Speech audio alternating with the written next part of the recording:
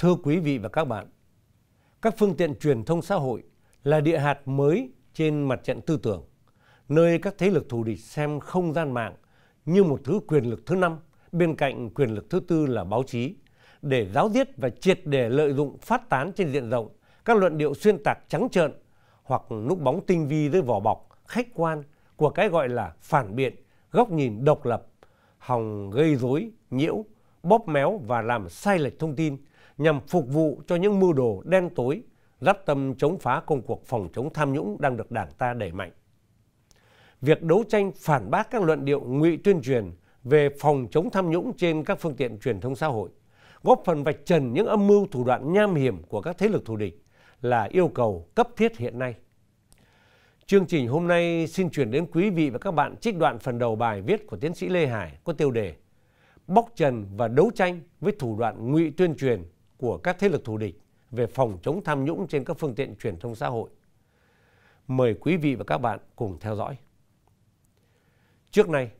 trong chính giới và học giả phương Tây, nhiều người vẫn giao giảng về một thứ truyền thông đại chúng biểu hiện tập trung nhất ở báo chí là tự do khách quan tuyệt đối phi chính trị đứng ngoài cuộc đấu tranh tư tưởng với xảo biện rằng báo chí thuần túy là phương tiện giao tiếp họ lập lờ đánh lận con đen, tuyệt đối hóa chức năng thông tin, song hành với phủ nhận chức năng tư tưởng và bóp méo khái niệm tuyên truyền của báo chí. Những xảo biện đó không che giấu được sự thật là báo chí thuộc thể chế chính trị nào cũng đều mang bản chất chính trị xã hội. Trong bất kỳ xã hội có giai cấp và còn sự khác biệt về lợi ích, báo chí với tư cách là công cụ đấu tranh giai cấp luôn thuộc về một giai cấp nhất định, thường là giai cấp thống trị xã hội giai cấp này sử dụng báo chí như một công cụ đắc lực để giành và giữ quyền lực chính trị, đồng thời tuyên truyền hệ tư tưởng, chủ thuyết chính trị của mình để chính thống hóa và duy trì nó ở vị trí chủ đạo trong đời sống tinh thần của xã hội.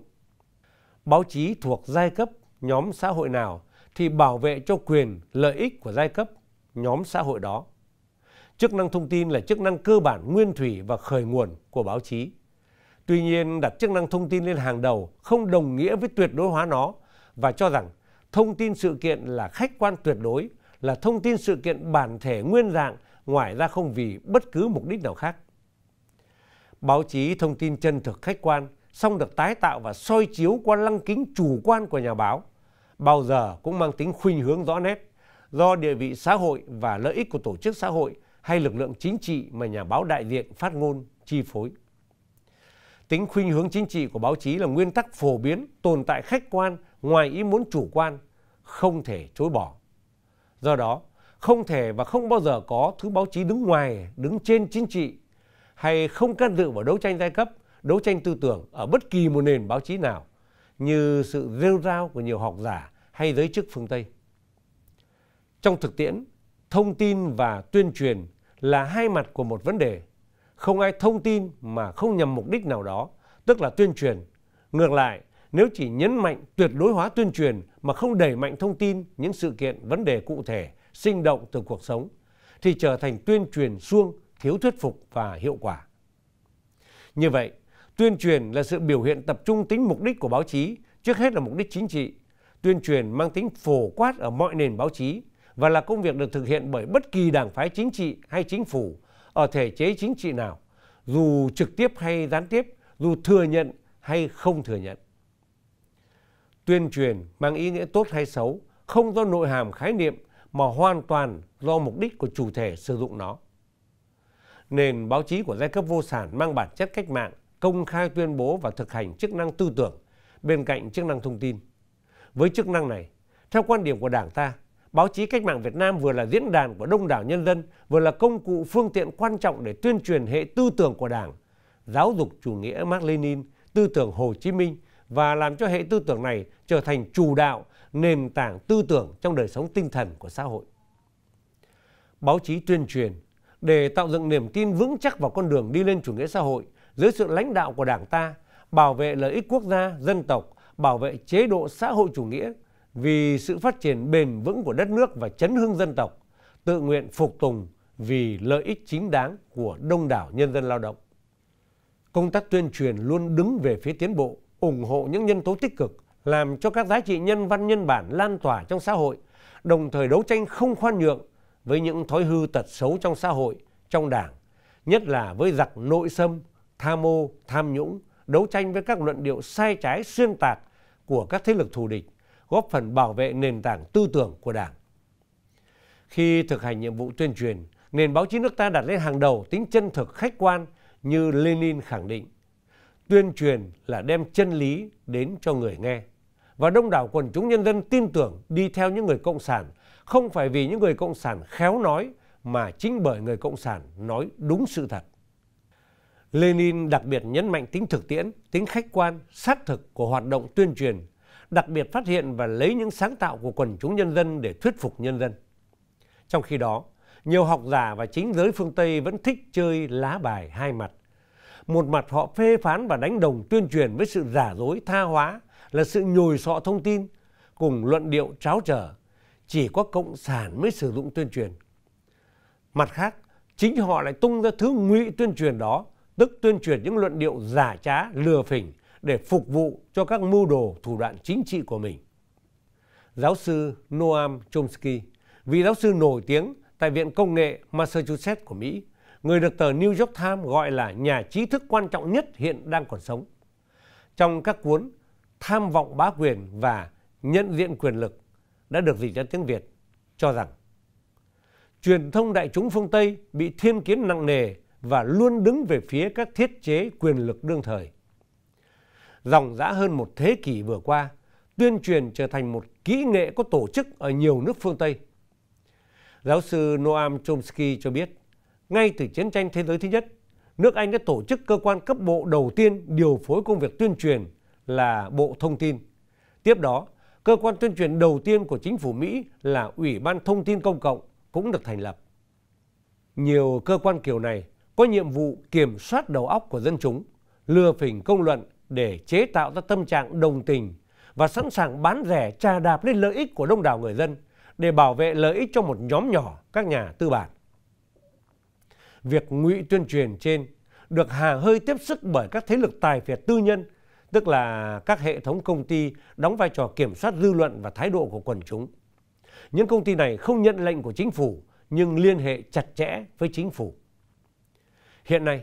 dù rằng về danh nghĩa tại nhiều nước phương Tây báo chí không thuộc chính phủ hay các đảng phái chính trị, song trên thực tế, giai cấp tư sản tiếp tục tìm mọi cách chi phối hoạt động báo chí, chủ yếu bằng quyền lực chính trị và sức mạnh của đồng tiền, sử dụng báo chí hiện đại như bộ máy trung gian để củng cố địa vị cầm quyền của giai cấp tư sản và là cỗ máy dọn đường dư luận cho việc thực hiện những âm mưu chính trị. Điển hình như việc một số tập đoàn truyền thông phương Tây sẵn sàng đổi trắng thay đen, bịa đặt thông tin hay là thông tin không hề được kiểm chứng về tình hình một số nước tại Trung Đông trong suốt vài thập niên trở lại đây. Họ đi ngược lại nguyên tắc tối thiểu về tính chân thực khách quan của báo chí, tạo cớ để một số cường quốc bất chấp luật pháp quốc tế trắng trợn tấn công những nước có chủ quyền. Bản chất là phục vụ cho dã tâm bá quyền và âm mưu đổi máu lấy dầu, nhằm thu những món lời khổng lồ từ việc kiểm soát nguồn dầu mỏ ở Trung Đông và buôn bán vũ khí của giới chính trị chóp bu và tài phiệt kích xù phương Tây. Nhà nghiên cứu truyền thông hàng đầu của Mỹ là Robert McChesney phải thốt lên rằng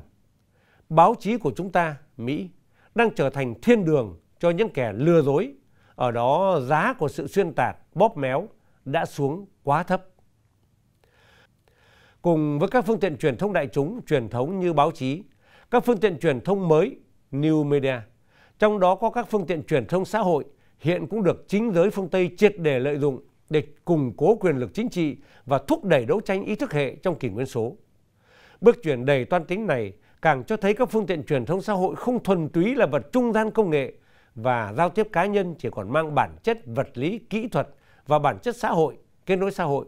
như phát ngôn ru ngủ công luận của chủ các hãng công nghệ hàng đầu thế giới và nhiều chính trị gia phương Tây mà ngày càng hội đủ và bộc lộ rõ bản chất thông tin, bản chất kinh tế và nhất là bản chất chính trị. Cơn ác mộng về chính trị tại các nước ở khu vực Bắc Phi, Trung Đông trong các năm 2010, 2011 là điển hình cho việc các phương tiện truyền thông xã hội trở thành công cụ chính trị đắc lực ra sao khi dưới sự hậu thuẫn của một số nước phương Tây. Lần đầu tiên các nhóm xã hội đối lập thuộc nhiều thành phần xã hội chính trị khác nhau và các thành viên của tổ chức huynh đệ Hồi giáo phối hợp hoạt động tập hợp hàng triệu người ủng hộ thông qua các trang mạng xã hội và điện thoại di động để tiến hành biểu tình mượn danh nghĩa chống tham nhũng và sự đàn áp dân chủ để lật đổ các chính phủ đương nhiệm. Gần đây, vụ việc Facebook, mạng xã hội lớn nhất thế giới, bị cáo buộc làm lộ lọt thông tin cá nhân để Cambridge Analytica, công ty phân tích dữ liệu chính trị tiếp cận trái phép và đầu độc thông tin chính trị tới 87 triệu người dùng. Mục đích tác động làm thay đổi kết quả cuộc tranh cử Tổng thống Mỹ năm 2016 cũng cho thấy sự tham gia những thương vụ chính trị hết sức tinh vi của các tập đoàn truyền thông xã hội, một cách chủ động hay bị dắt dây bởi các thế lực chính trị, đi ngược lại hoàn toàn tuyên bố về tính khách quan tuyệt đối và bảo mật thông tin của Facebook, vốn luôn khẳng định mình đơn thuần chỉ là hãng công nghệ thuần túy. Những minh chứng trên chỉ là số ít trong rất nhiều thủ đoạn chính trị mà chính giới phương Tây đã sử dụng để điều khiển chi phối khống chế hệ thống báo chí truyền thống và các phương tiện truyền thông xã hội một cách vừa tinh vi vừa trắng trợn, không chỉ ở quy mô một quốc gia mà còn trên quy mô toàn cầu,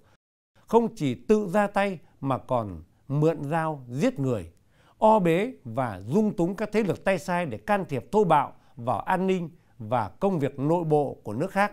nhất là các quốc gia có sự khác biệt về ý thức hệ. Quý vị và các bạn vừa theo dõi trích đoạn của phần đầu bài bóc trần và đấu tranh với thủ đoạn ngụy tuyên truyền của các thế lực thù địch về phòng chống tham nhũng trên các phương tiện truyền thông xã hội của tiến sĩ Lê Hải. Bài đăng trên tạp chí Cộng sản. Chương trình tạm dừng ở đây. Cảm ơn quý vị và các bạn đã quan tâm theo dõi. Xin hẹn gặp lại trong các chương trình sau.